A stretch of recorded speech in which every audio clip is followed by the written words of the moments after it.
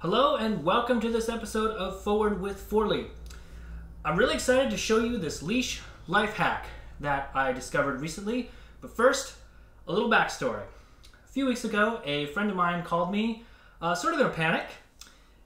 They were on a hike, on vacation, and they accidentally broke their dog's leash. And this is a big deal in the guide dog world because you need both the leash and the harness to be effective. Uh, you need the leash for leading the dog, and you need the harness so that the dog can lead you. So naturally, not having one of those tools makes it very difficult to handle a dog. Uh, so they asked me what they should do. How should they fix the situation um, and continue on with their vacation? And like most people in the field, I just suggested uh, that they go to a local pet store, find a flat leash that's uh, designed for large breed dogs, and then order a regular, uh, what we call a double leash or a, guide dog specific leash when they get home. They could also try, you know, knotting the leash or duct taping it. I've seen that done before. Um, but I think I found a better solution to that. And it took me a little bit to think about it, but I've got it and I'm really excited to show you. So let's check it out. You're going to need two things for this life hack a flat leash. Uh, in this case, I'm using an Alaska Airlines themed one that they gave me. Thumbs up Alaska, hashtag iFlyAlaska. They're not sponsoring this video, but I really believe that they have a great product, so check them out. And the other thing you're gonna need is a carabiner. Uh, this is a medium-sized one. You could grab one off your water bottle or your backpack, whatever. And this leash is ideal for this because what it has at the far end of it, this leash is like six feet long, is a loop um, where maybe you would like stick it over your wrist or something like this if you're walking your dog like this or um, you know securing your dog or something. And all we're going to do here is take our carabiner. I know there's a lot of leash going on here. Let me kind of make it easier for you to see. Okay, so we have our loop open and we're going to open up our carabiner and we're going to simply slide the carabiner into the loop, close the carabiner.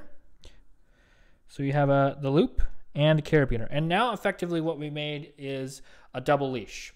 Uh, double leash meaning it's doubled over on itself. These are This design is very common in the guide dog field. And so now what we're going to do is take our carabiner and connect it to the bolt snap, which is the spring-loaded clip that looks like this that connects to the dog's collar. There's a nice big space here to do it on this particular one. And now you have a double leash. And again, these are really common in uh, the guide dog field. And this is basically um, the same design as that. And it will definitely get you uh, out of a bind. So let's try it out.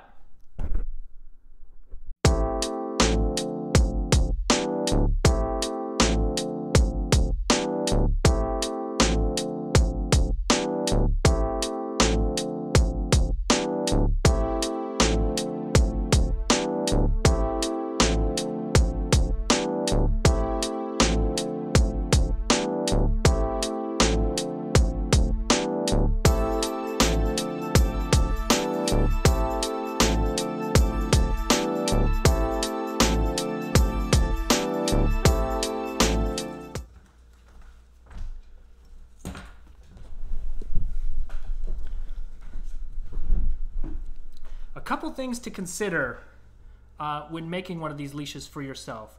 First of all, make sure you, you get a leash designed for a large breed dog. Even if you have a smaller sized Labrador, you still want to get a leash that's designed for a large breed dog. That's going to give you the most control and peace of mind when creating this. Especially if your dog's leash breaks unexpectedly, you're in an unfamiliar area. That's just one less thing you have to worry about. Um, you know, just having a strong leash uh, and especially if you have a dog that requires um, a lot of strength to, to manage. Uh, the second thing to keep in mind is um, find a leash that's going to be comfortable for you and your dog. Uh, the leash I was using was pretty lightweight, and that, um, believe it or not, makes quite a bit of difference when doing things like uh, collar cues or leash gestures, even just heeling the dog around. So you want to be aware of that. Uh, a replacement leash or a backup leash is probably not going to feel the same as a standard issue um, double leash that's used uh, for a guide dog. Um, unless you have a spare one, then of course it'll be very similar. Uh, so keep that in mind as you're developing um, this and, and, using this. Uh, third and finally, this is not a replacement for standard issue equipment. You knew I was going to say it, and it's true. Uh, you want to you know use this to get yourself out of a jam or you know whatever whatever the situation might be but i would not use this every day. Now if you wanted to create a special uh, themed leash if you will um, for example if i wanted to use this alaska airlines uh, branded leash maybe at a, an event or a, a, meeting or something with them you know and i wanted to kind of show show it off um, just something kind of cool and interesting um, I think that's acceptable. I would certainly contact your school's training department and tell them your idea, tell them what you've got for equipment. Um, take maybe a little extra care in finding a good uh, carabiner or second uh, bolt snap um, to make it work well. I hope you found this leash life hack to be helpful. Uh, I would recommend um, building one of these spare leashes and just keeping it uh, with all of your equipment and things that you grab when you go um, on vacation or go traveling. Um, just in case, you just never know. It's good to have this available.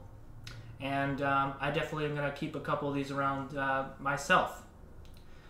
Feel free to like, share, comment, and subscribe. And thank you for watching.